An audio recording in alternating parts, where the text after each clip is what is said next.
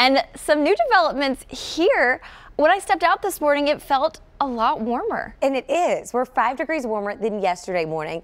And then let's take another step back a day, mm -hmm. five degrees warmer than that day. So that's a 10 degree difference within 48 hours. So it's like we're scooching back to summer. And then we're going to fall real quick into mm -hmm. autumn. Exactly. It's just that roller coaster ride. We were discussing, you know, closed toe shoes, open toe shoes. So many questions these days because it is fall, but that's part of it. It's a tug of war between summer and winter. Right now, as Rebecca mentioned, we are warmer. We're coming in at 58 degrees to kick off the morning.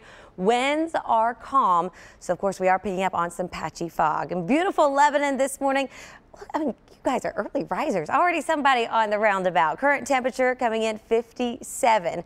Visibility is going to decrease before it increases. I sound like a broken record. Y'all know that. Just be careful and mindful because there's a lot of wildlife. Yet again this morning, saw another fast little critter going across the interstate. Currently, we are picking up visibility issues around McMinnville. We're at four miles. Over in Giles County, you're coming in right around two in a handful of spots. Temperatures 50s and 60s with one little 46 degree mark over in Cookeville. No surprise there, you guys are the cooler spot, but we're all going to warm up together.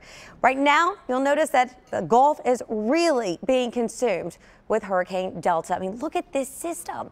It's bringing in so much water, and that water is warm coming in the 80s. Right now, Delta is at a category two. Stayed pretty consistent over the past bit, having some issues regaining the strength as of right now, which is really working to our benefit. Right now, winds are 100 miles per hour, moving northwest, that forward speed at 15 miles per hour.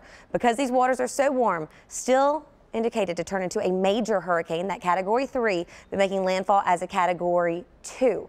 Once landfall takes place on Friday around dinner time, that's when that moisture is going to end up moving closer into our vicinity. So what exactly does it look like for us? Well, today still have high pressure. You'll just notice a few more fair weather cumulus clouds in place, not having anything in the way of rain. Then we fast forward going into Friday, more cloud cover becoming quite thick as we head throughout Friday evening. Those are the outer bands and even a few rain showers are anticipated down to our southern tier. That's really going to begin to pick up as we head throughout Saturday and Sunday. But pending the track is really going to depend on how much rain we will receive. Areas down to our southern tier as of right now looking to get around two to three inches. To our northern extent, quite a bit less for you. It's going to be a very sharp cutoff. Now, because this is a tropical system, it does have characteristics of spin up tornadoes.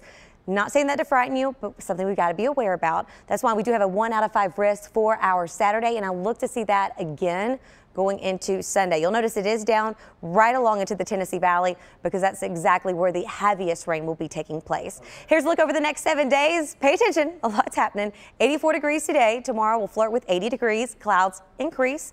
Some outer bands will ease in by Friday evening. Looking to see rain showers and some breezy winds Saturday and Sunday. The system then begins to exit. Then we head into Tuesday. A cold front is going to move in. And Nick, we're going to get a blast of cold air back across Middle Tennessee and Southern Kentucky. Highs on Wednesday topping out at 70 degrees. So above average, below, back and forth.